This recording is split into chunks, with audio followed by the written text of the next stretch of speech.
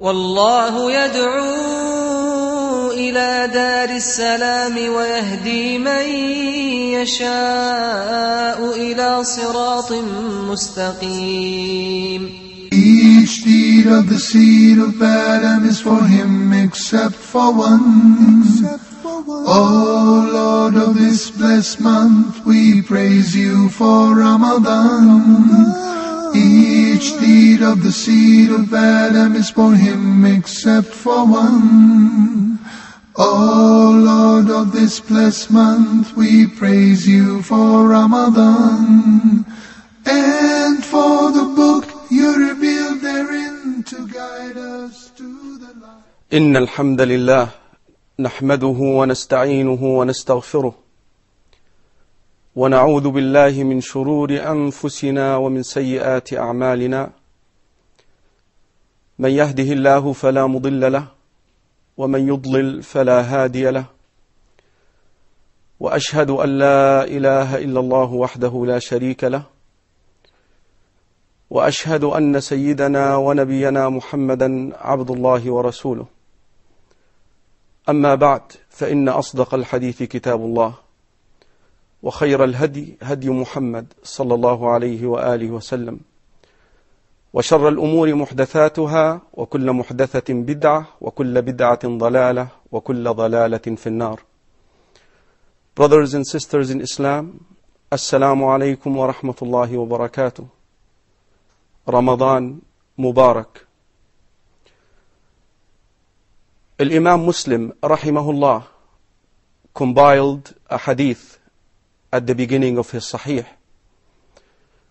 The hadith is narrated by Umar ibn al-Khattab, radiyallahu anh, who said, بينما نحن جلوسا مع النبي صلى الله عليه وسلم while we were sitting with the Prophet صلى الله عليه وسلم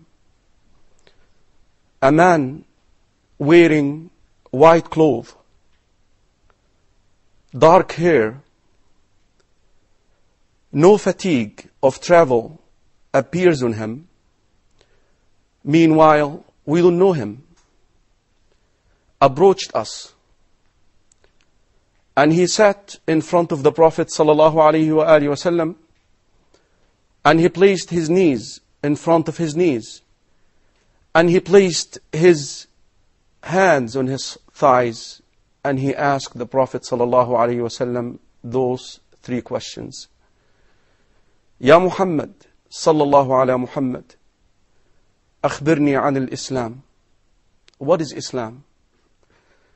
The Prophet ﷺ said, Islam, that you bear witness that there is no one worthy of your worship and obedience but Allah subhanahu wa ta'ala. And you bear witness that Muhammad sallallahu alayhi wasallam is the messenger of Allah. And that you establish the five daily prayers. You pay your zakah. You fast the month of Ramadan and you perform Hajj to the Holy Land in Mecca, the house of Allah in Mecca, if you're able to physically and financially. The man said, Sadaqt, you spoke the truth. Umar ibn al-Khattab radiallahu anh said, we were amazed because he asked and at the same time he said you spoke the truth. Then he asked the Prophet ﷺ the second question, Ya Muhammad, أخبرني عن الإيمان. What is faith?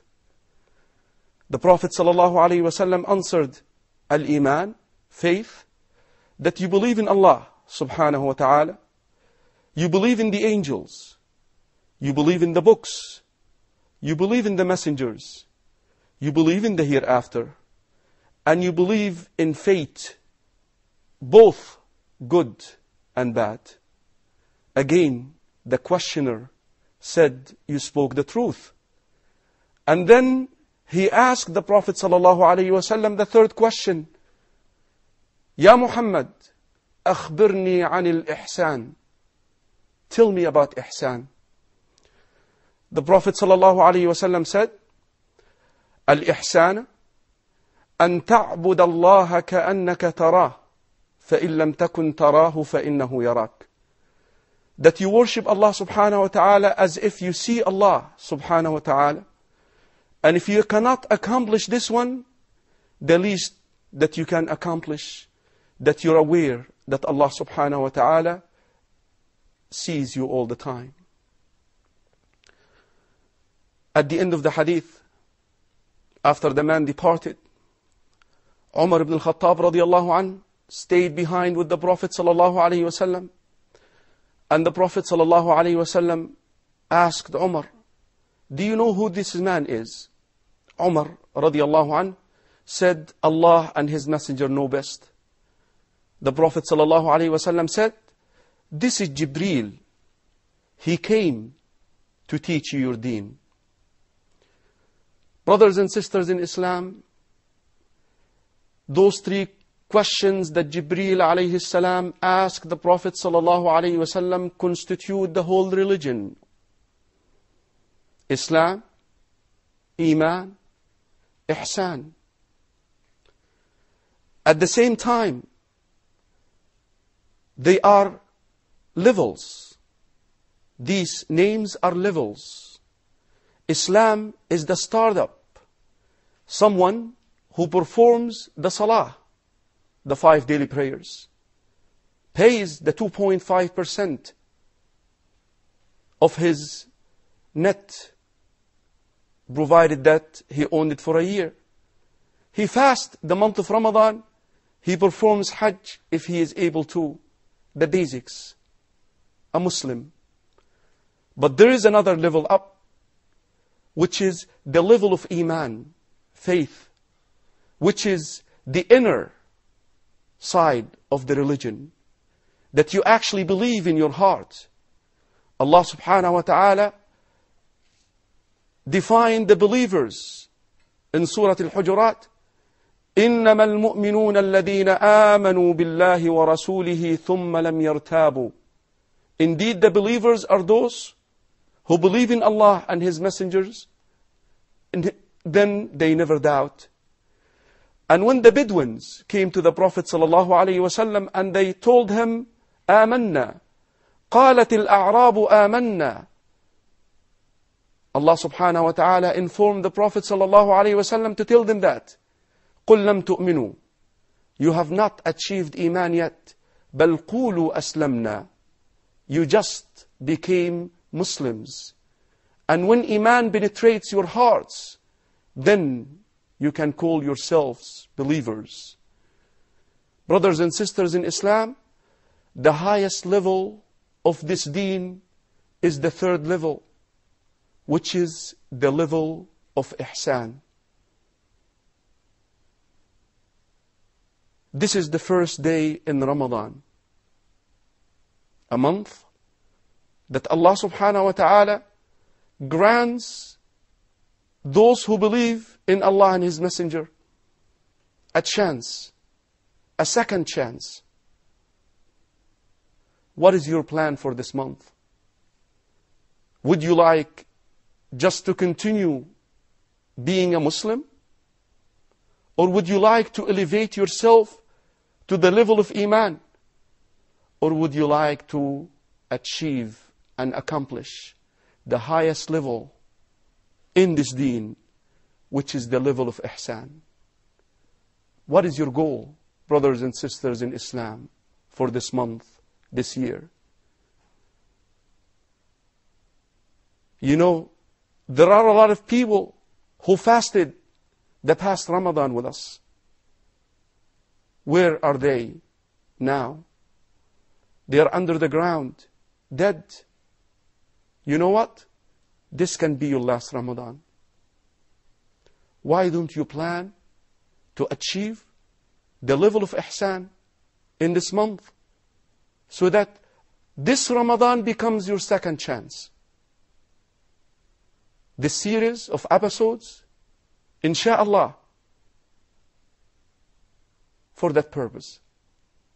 Every day, for 15 minutes, more or less, we're going to sit together and talk about that second chance. For you to know What do you mean by a second chance? The Prophet ﷺ classified, categorized the people who fast into two categories. One category, he said about them, and the hadith is recorded in al-Mustadrak and Musnad al-Imam Ahmad, rahimahumullah, hadith Abi Hurairah, radiyallahu an, the Prophet sallallahu alayhi wasallam said, رب صائم ليس له من صيامه إلا الجوع والعطش. It may be a person who fasts Ramadan and all that he gets from Ramadan is making himself thirsty and making himself hungry. Don't you dare be among that type. There is another type. The type that the Prophet ﷺ said about them, those who seize the opportunity, those who will fast Ramadan, imanan wa ihtisaba, out of faith and seeking the reward. Those who will stand up in Taraweeh at night, again, believing in it and seeking the reward of Allah subhanahu wa ta'ala. Or those who will observe in the last 10 nights of Ramadan, the night of Al-Qadr.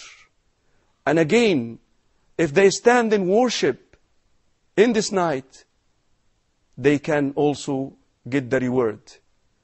Listen to those three golden opportunities. Three golden opportunities, brothers and sisters, in Ramadan in this month. من صام رمضان إيمانا واحتسابا غفر له ما تقدم من ذنبه Whoever fasts the month of Ramadan out of belief and seeking the reward of Allah subhanahu wa ta'ala, Allah will forgive all his sins, the past. من قام رمضان إيمانا واحتسابا غفر له ما تقدم من ذنبه Whoever stand in Salatul Taraweeh at night, the Salah that comes after Isha, out of faith, seeking the reward, he will get his sins forgiving. ومن قام ليلة القدر إيمانا واحتسابا and whoever observes worship in the night of Al-Qadr, which comes at the last 10 nights of Ramadan, again out of faith and expecting the reward from Allah subhanahu wa ta'ala, Allah will forgive all his sins. Brothers and sisters in Islam, this is the group that you want to be with. You don't want to be with the first one that only spends the time being hungry and being thirsty. You know why? Because Jibreel alayhi salam, Aminu Sama, the trustworthy of the revelation, and Muhammad sallallahu alayhi wasallam, Aminul Ard, the trustworthy of the revelation in earth, made dua against that person. You want to know why? Don't miss the next episode. Assalamu alaikum wa rahmatullahi wa barakatuh. Each deed of the seed of Adam is for him except for one. O Lord of this blessed month, we praise you for Ramadan.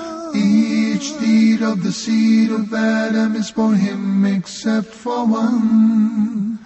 O Lord of this blessed month, we praise you for Ramadan. And for the book you revealed therein to guide us to the light. By your grace you sent us this Quran each day that we recite. And for the book you revealed therein to guide us to the light.